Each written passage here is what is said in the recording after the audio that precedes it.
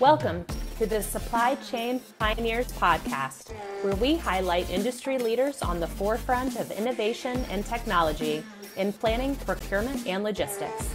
Hosted by your supply chain pro to know, Ulf Venn. Supply Chain Pioneers is powered by Everstream Analytics.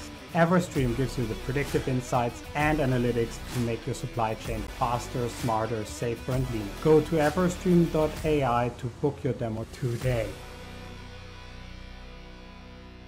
Hello, everybody, and welcome to a new episode of Supply Chain Pioneers. And with me today, I have Michael Huth, who's a university professor at the University of Fulda for Applied Science. And with that, I want to welcome you, Michael. Hello. Michael, as always, before we really get into the matter, it would be cool if you could introduce yourself a little bit. All right, Ulf. Thanks very much for the introduction. Yes, I'm Michael, and that's probably easier than Michael. We just skip the surname.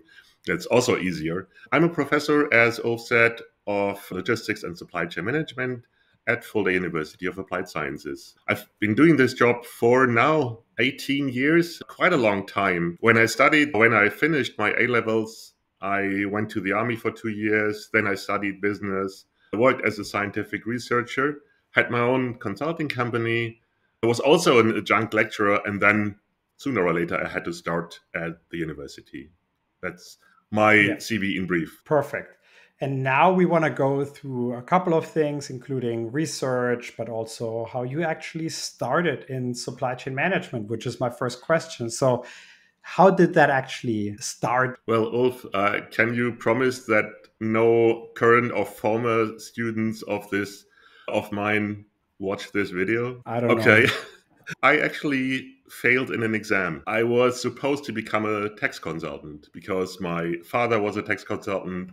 My ex brother in law is a tax consultant. So that was some kind of obvious to become a tax consultant. And so I studied business and uh, I was in an exam where I didn't go to the lecture before and I failed. So I had to go to that exam again or to the lecture again. And at these huge universities, every semester this course is taught by another professor. So that professor was quite interesting. And I thought, okay, what is he teaching in the majors? And it was logistics, which was something I didn't know anything about at that time. But he was a good guy. He was very interesting. So then I went to his lectures as a major, and this is actually how I started to become yeah a logistician. And I come from a family where we have a lot of doctors, so everybody thought I'm also going to study that. I didn't.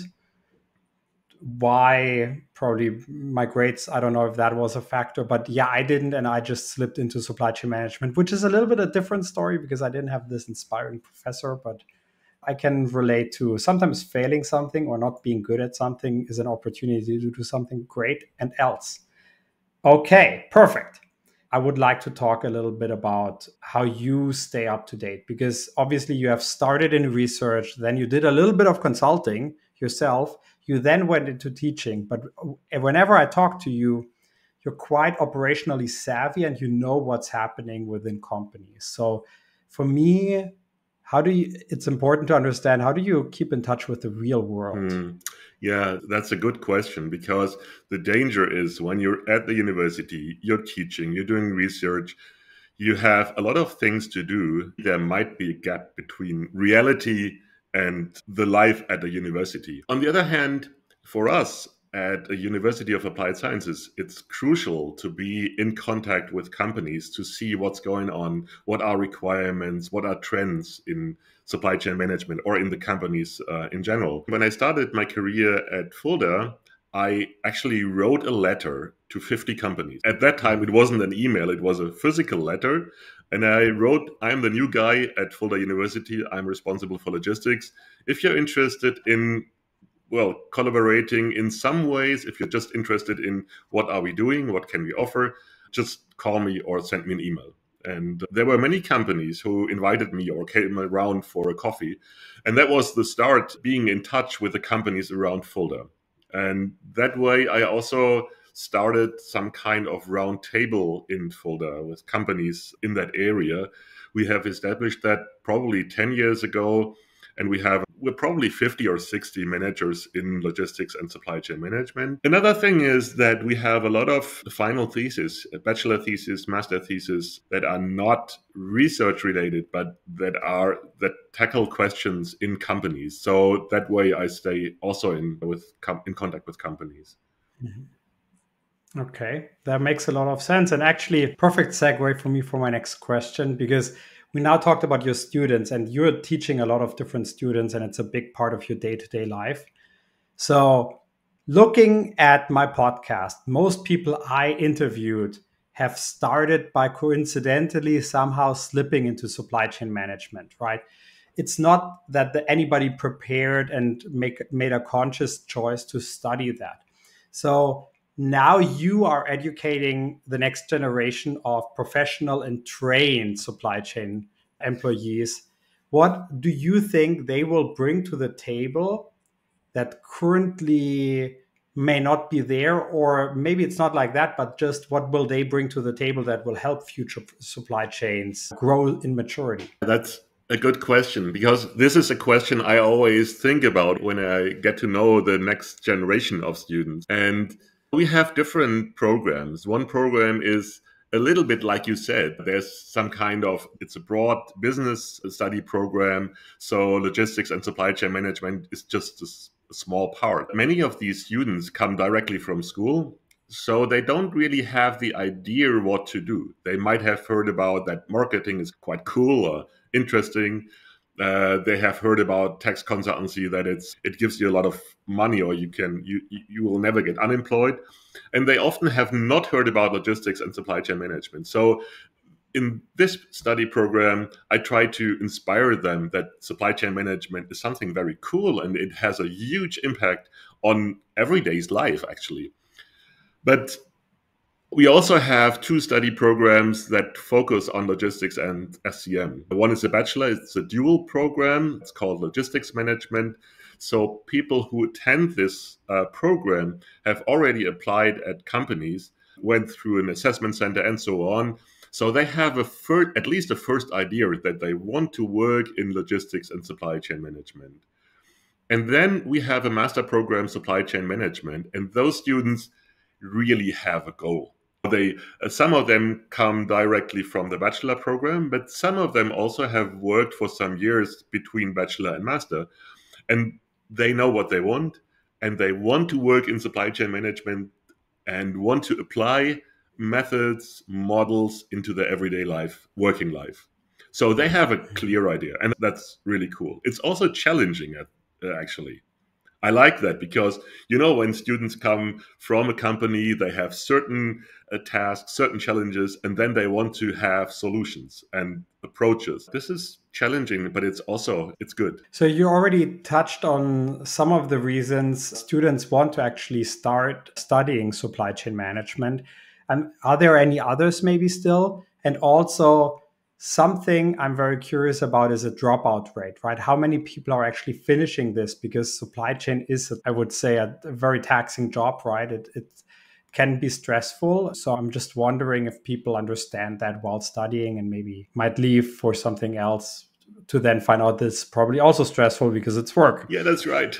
Actually, the dropout rate from the the two specific programs are very low. It might be in the bachelor program because the students are already been selected by the companies. So there are top students and they of course have a contract with the company. It's quite a tough tough study program having six or seven semesters working three months being at university for three months so not when you think about student life then you think about yeah the summer break then the winter break it's you have a lot of time they do not have that much time, but they do not struggle. They're, they're a small group. It's normally around 30 students. So the dropout rate is, I don't know, very small. And the same is true for the supply chain management master program.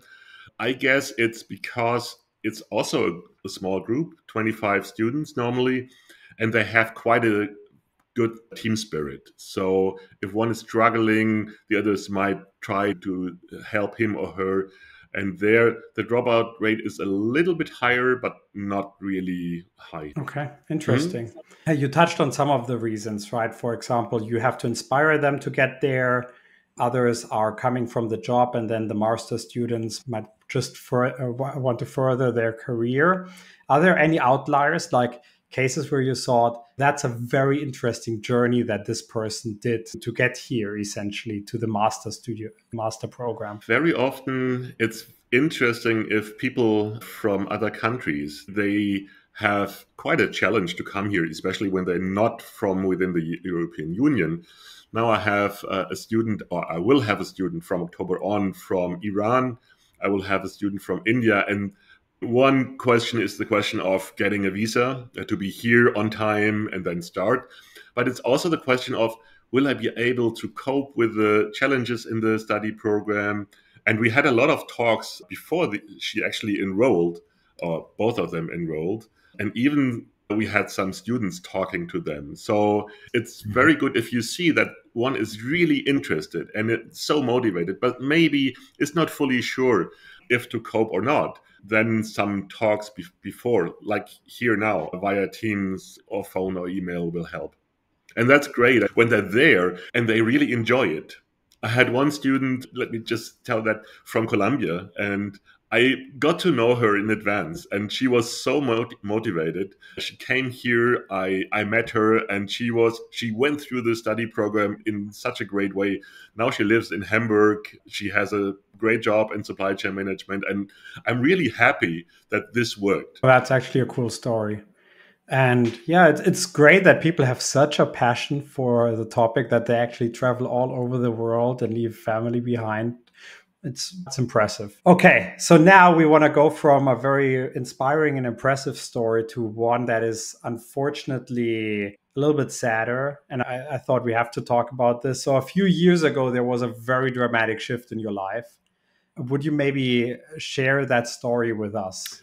Yes, I can do that. I was at that time in South Africa at a partner university. I was I had planned to stay there for five months until Christmas, and from the beginning on, I realized something was not right with my body. I used to run longer runs, 10K, 15K, half marathon.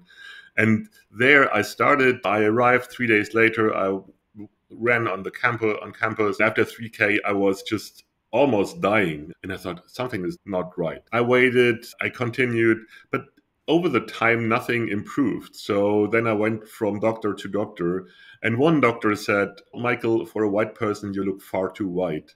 Let's have a blood let's take a blood sample. And they took a blood sample and then he called me and he said come into my office tomorrow morning. And i came to this office and he actually diagnosed me with leukemia and said we actually have to have you here keep you here we should start treatment right now. And that was actually that was a shock and I had, didn't have anything to do with leukemia, but I remembered when I was a child and my parents talked about this topic. meant at that time, it, it's a long time ago, that meant people would not survive. I know about this already, and that's why I ask that question because you have been quite open in the communication of your treatment, and you have always have had very a very positive spin on the whole topic, which I personally found to be super inspiring. What was your motivation to openly share your journey through the leukemia recovery process?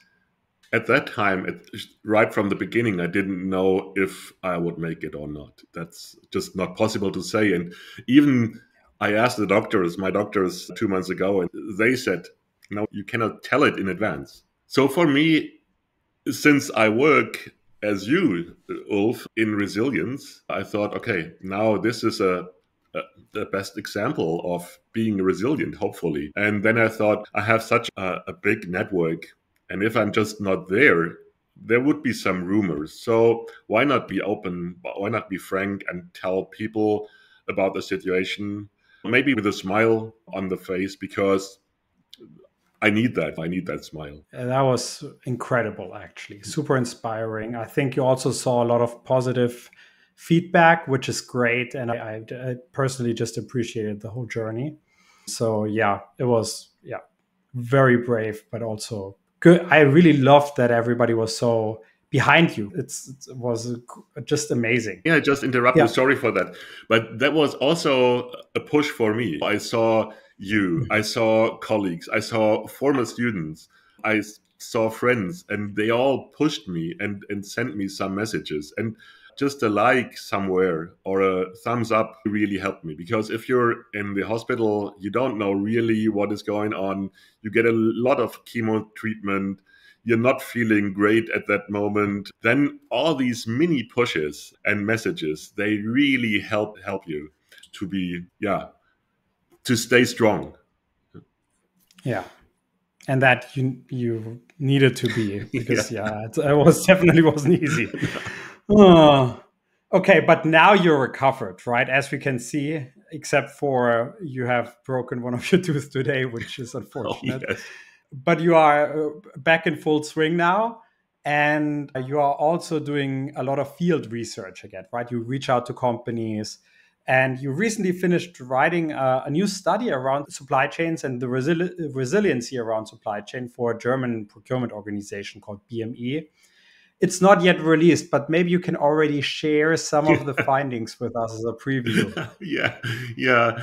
I mean, you know that because you you work in resilience. We did some comparison between the situation before and after, before COVID and the blockage of the Suez Channel and the beginning of the war in Ukraine, and we compared the situation before with the situation now. Before companies perceived their own resilience as very low only 21% of the companies thought they had a good or a high resilience in their supply chains. Now, almost four years later, it's the, the percentage has doubled. So 44% say we are more or less resilient.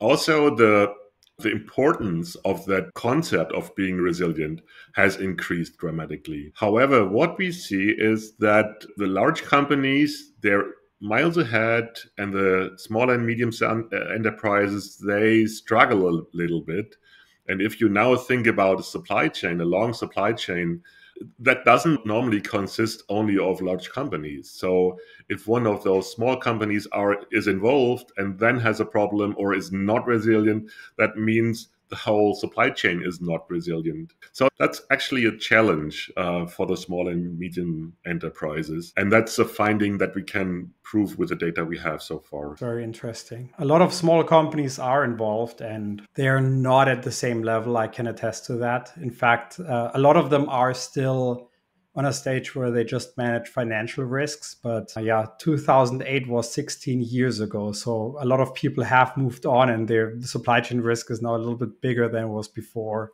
geopolitics, whatever. So it's, yeah, there's definitely some catching up to do. Oh, I'm looking forward to this study. But another thing that I feel is if, no matter if they're resilient or not, just feeling resilience and being confident about it can already be good i think right? So you if you think you can cope with a crisis it's more likely that you cope with a crisis. Absolutely. you have proven yourself right? You are positive about things and therefore it worked. So that's already a good sign i think.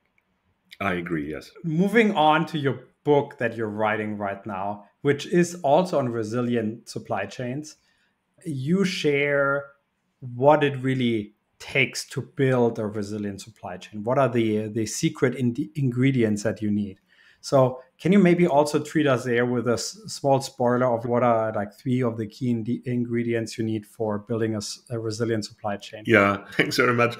I just handed in the manuscript last week, so I, now I'm curious when it is being published. Hopefully, not too long. Actually, what I compiled from scientific literature and also from empirical um, is let's say, success factors that contribute to supply, uh, resilient supply chains. There are success. One of the biggest success factors as well is transparency or visibility within the supply chain. That should be there, but now going back to the empirical study, it's not there. There was 80% of the companies have their first suppliers in their supply chain risk management, but only a third of them has the second tier supplier Mm-hmm. covered by their supply chain risk management. Yeah, visibility is not is quite difficult. But this is one success factor. It's also collaboration, it's also trust, it's also the leadership in a company.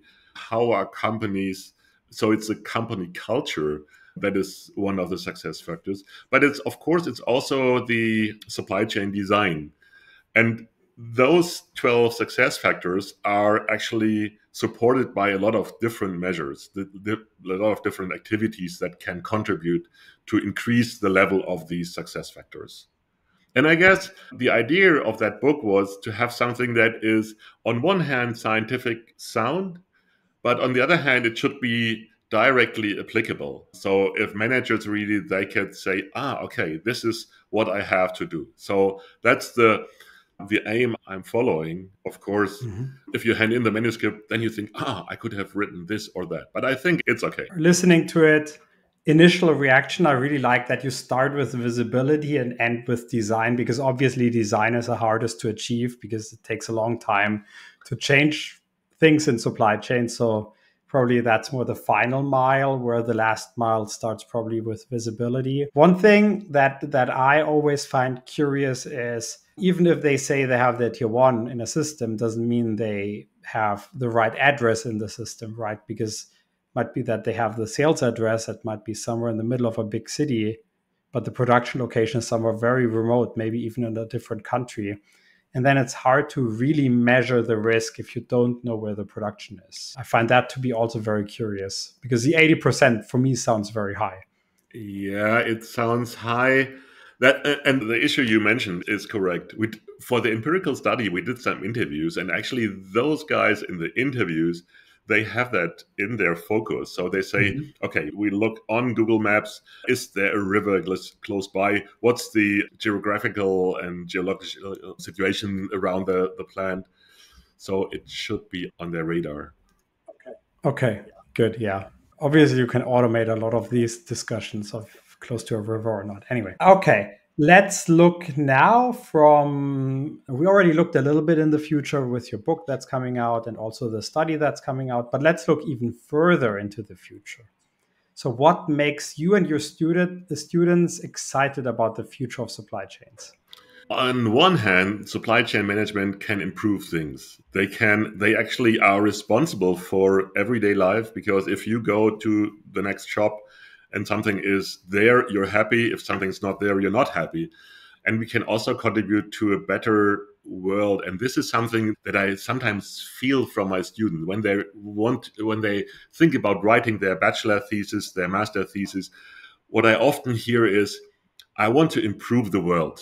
And then they focus on sustainability, for example, on resilience, on the other hand. And I love that the vision they have so this is something where I get inspired from my students. When you're getting older, you're sometimes you're a little bit moaning about this and that, and some, then the students come. They're young, they're dynamic, they're yeah motivated, and they inspire me and that's fantastic. Yeah. And of course, no. what I can add is we have a lot of technology that is we're in the middle of a development of technology, so we're not at the end at all. And I guess this is really interesting to see what is coming in the future. Yeah, the art of the possible is amazing.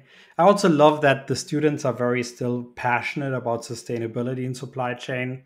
Rana Plaza is now a long time ago. That was 2013, but it still is in everybody's mind yeah. somehow, and that's good. I, I, think that was a pivotal event um, that triggered a lot of things. Like back then, the picture of the Earth the blue marble picture was for the whole movement on protecting the planet which yeah. so this was our supply chain event for that. Very interesting. Yeah. no cool. Yeah.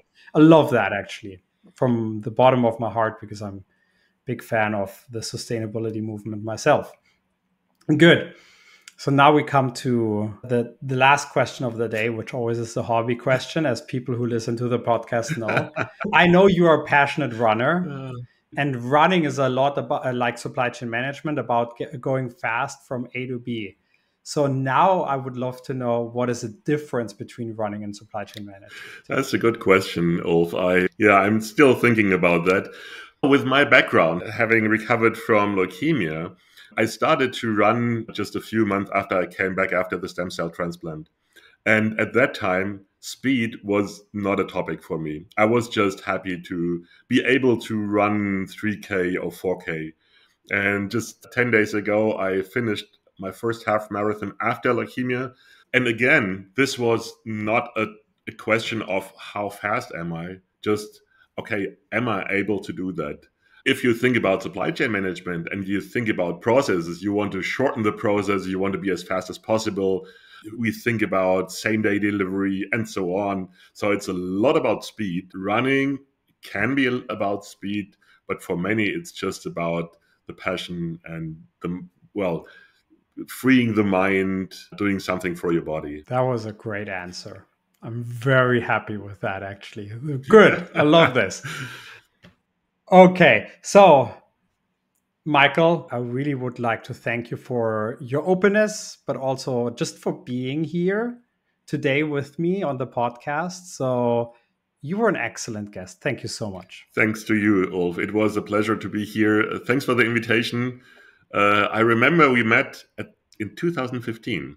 Air resilience. Yeah. So that was fantastic. I love your activities. I love your what you're doing. So thanks for being a part of that. Mm, yeah, thank you. Really, I think you're doing God's work, getting the next generation of supply chain management into the funnel. We need every single one. So that's perfect. Okay. So now for everybody that's watching, listening, or however you enjoy this podcast, actually, I wish all of you a great day and bye bye.